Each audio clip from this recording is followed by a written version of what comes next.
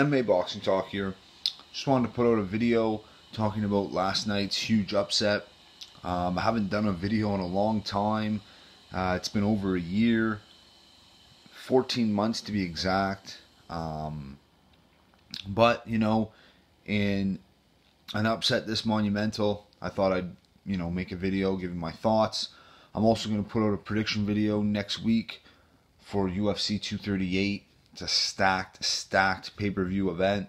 Uh, a lot of good fights on that card. Really looking forward to that. So uh, keep an eye out for next week for a prediction video for UFC 238. Last night's fight, though, wow, what an upset! What what a shock to the boxing community, to the to the sports community. I had a buddy text me this morning. Not a huge boxing fan, definitely a casual, and you know he's like, I don't know much about what's going on here, but this upset is plastered over my timeline. He just wanted to know uh, the whole story behind it, whatever. Um, this is crazy, you know. Everyone's talking about it. Uh, Andy Ruiz Jr., of course, TKO's Anthony Joshua in the seventh round. Uh, it was a crazy fight. Hats off to Andy Ruiz. He was, uh, I believe, a 13 to 1 underdog.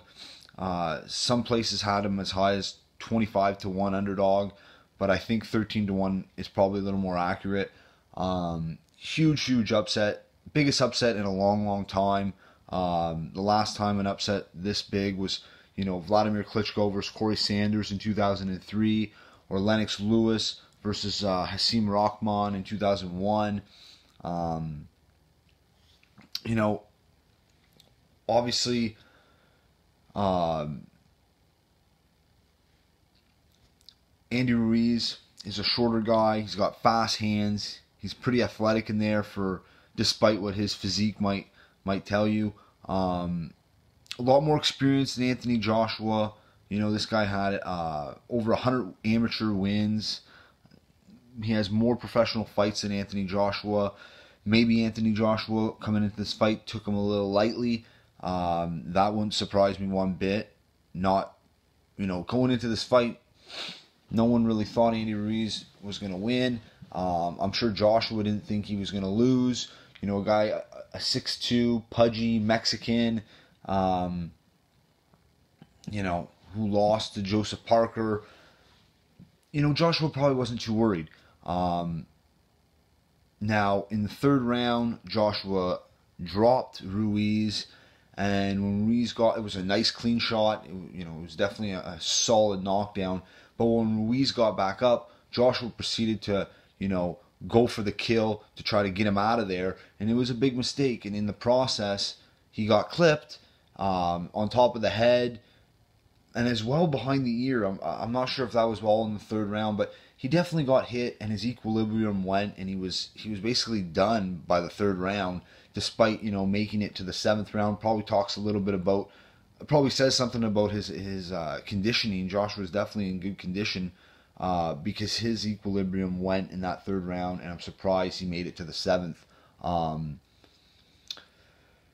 so he drops Ruiz and then he gets dropped going for the kill. He opens himself up gets dropped also hits the canvas a second time in that third round, and then in rounds, you know, four, five, and six, he was in survival mode, and those rounds were swing rounds. You know, they could have went either way. Ruiz probably won a few of them, um, and then the seventh round came. Joshua landed a nice shot. I, I believe after that they they exchanged hooks, and Ruiz just followed up and kept peppering him, and you know, fast fast, fast uh, hand speed and combination punching with power combined. Uh, drop Joshua, put him on the canvas another two times, and then you know, in my opinion, there was no controversy um, with the stoppage at all. Joshua spit his mouth guard out. He made, you know, he got to his feet and beat the count, but proceeded to, you know, turn his back to the ref, walk to the corner, have his hands on the ropes, you know, and the ref saying, you can't do that. Like, are you ready? Joshua said, yeah, I'm ready, I'm ready. But his words were saying he was ready, but his actions, his body language were, were saying something completely different. He didn't have any interest in continuing, so the ref stopped it. it, you know, it was a good stoppage on the ref. No complaints from me. Now, you know, a lot of people are going to say Anthony Joshua was washed. Uh, you know, he's done. He'll never, you know, he was nothing. Uh, he's a bum. He's no good. All of that is BS. Um, Joshua could have easily won that fight if he stayed behind his jab, you know, stayed at distance, picked him apart from, you know, range. Um, the problem is, is when he dropped Ruiz in the third round, first knockdown of the fight, and there was five knockdowns in this fight, he got overzealous. He went for the kill. He he opened himself up to be countered, and Ruiz took advantage. And hats off to Ruiz because he is a good fighter, and people were counting him out. Um, you know, this is a guy, like I said, over 100 amateur wins, more uh, pro experience than Joshua as well. Um, both guys went the distance with Joseph Parker. That tells you a little bit, little something that he obviously isn't. He obviously was going into this fight. Andy Ruiz was a worthy opponent. Um, it's crazy. It's really crazy. Um, but Joshua's career, it's not over. Uh, don't kid yourself.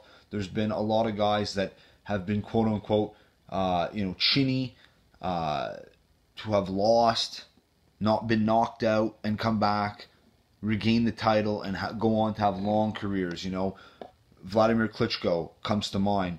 Um, you know, he was upset by Corrie Corrie Sanders, knocked out.